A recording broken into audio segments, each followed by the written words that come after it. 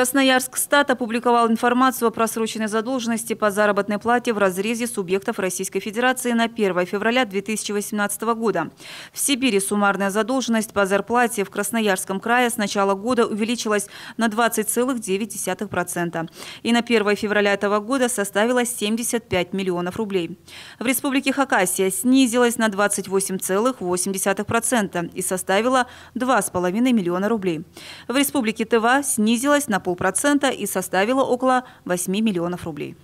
И о курсах валют доллар стоит 56 рублей 34 копейки, евро 69 рублей 90 копеек.